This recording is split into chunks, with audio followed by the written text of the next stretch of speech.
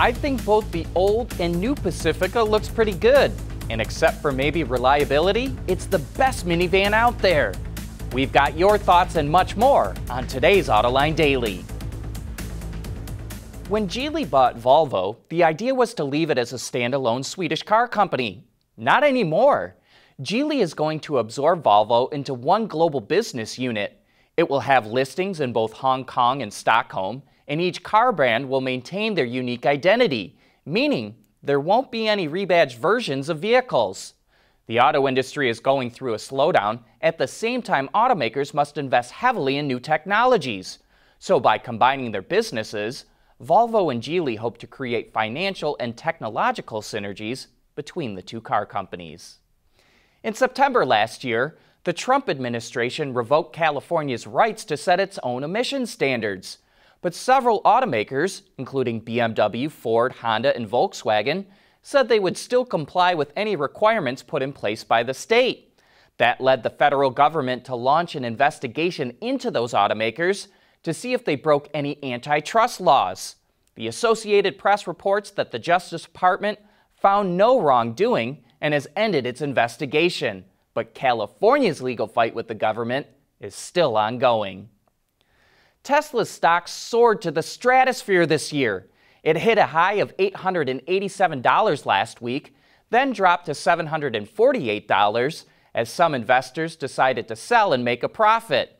Many investors believe it will crack $1,000 a share, and an investment group called ARK predicts it will hit somewhere between $7,000 and $15,000 a share in the next five years. But we think investors should be wary of a short term correction. And here's the warning signs to be on the lookout for. Sales of Tesla's cars plummeted in the U.S. market last year and again in January. Tesla was able to overcome that by shipping cars to China and Europe. But with its Gigafactory in China, Tesla won't be exporting many cars there from Fremont. That leaves Europe. But we don't know what's going on there yet. Europe seems to take forever to report sales. The only January sales numbers we have so far are from Norway, the Netherlands, and Spain, and Tesla's sales are down sharply there. But those are small markets, so we really need to see what happened in the rest of Europe and those numbers are just coming in. If they show a drop in sales, it could trigger a stock correction. But keep this in mind Tesla's car sales always start out low at the beginning of each quarter and build strongly at the end of each quarter. So even if sales look weak right now, they could look good at the end of March.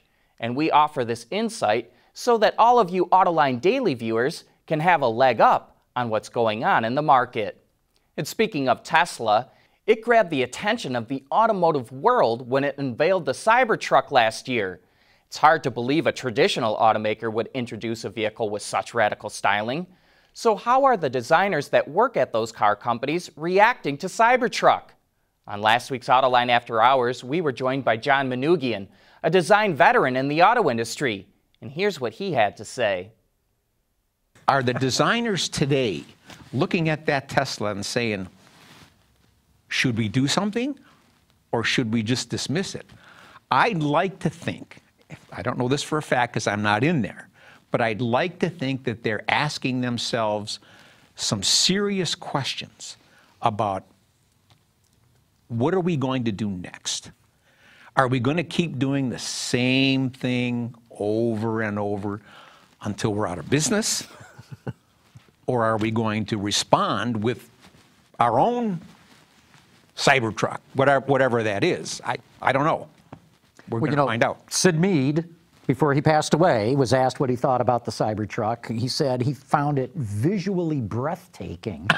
and he word. said that the form language for pickup trucks has forever changed, or words to that effect. And I think his words will be closer than we might think. Mm-hmm. And if you're interested in watching that show, you can just click right up here or you can always watch it on our website, Autoline.tv.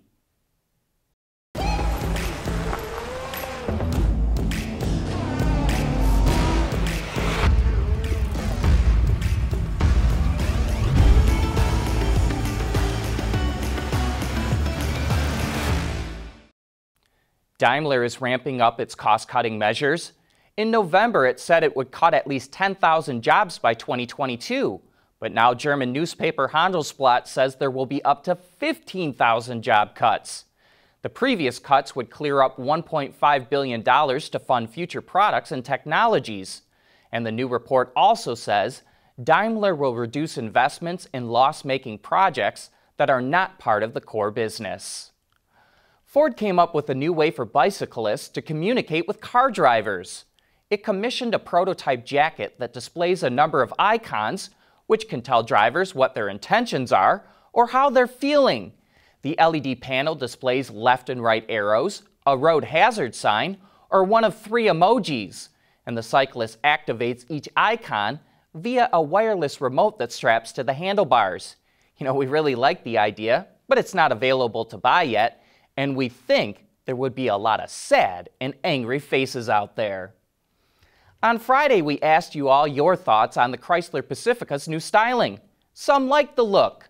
Lambo 2015 says, the Pacifica is far better looking than the goofy looking Odyssey or Sienna. And Kit Gerhardt adds, I think both the old and new Pacifica looks pretty good, and except for maybe reliability, it's the best minivan out there. But most aren't too fond of the styling. Max agreed with someone else who said the new front end looks like the old Chrysler 200 and adds, boring. Bob D.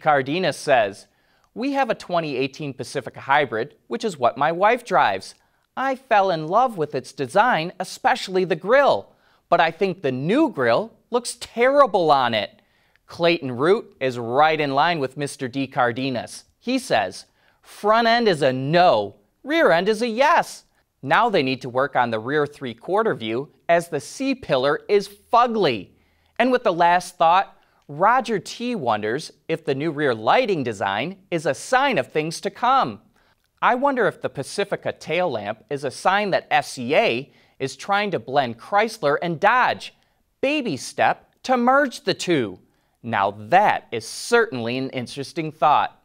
We'd like to thank everyone for their feedback. There was so much, we just couldn't get to it all. Autoline Daily is brought to you by Bridgestone Tires, your journey, our passion, and by BorgWarner, propulsion solutions that support a clean, energy efficient world. The coronavirus outbreak in China forced a number of automakers to suspend operations in the country, but some companies are getting back on their feet. Tesla has resumed production at its factory in Shanghai with assistance from government officials. Daimler and Ford are restarting production at certain facilities, and Volkswagen is opening a plant it operates with SAIC, and it's opening most of the factories it operates with FAW. And General Motors will resume production on February 15th. But not all automakers are getting back to normal. Toyota and Honda have extended production shutdowns in China, and FCA is experiencing part shortages at its European factories, which is disrupting production. Speaking of China, car buyers there sure don't like three cylinder engines. GM introduced three bangers in cars it sells under the Chevrolet, Buick, and Baojun brands, and they proved to be practically sales proof. Chinese consumers believe that they vibrate more and are noisier and are not very interested in them. The head of GM China, Matt Tenzient, told analysts that GM's key new product launches in 2020 will all have four-cylinder engines and that it's racing to redesign cars that only offered three-cylinder engines so that they can accommodate a four. But with that, we wrap up today's show. Thanks for watching. We'll see you again tomorrow.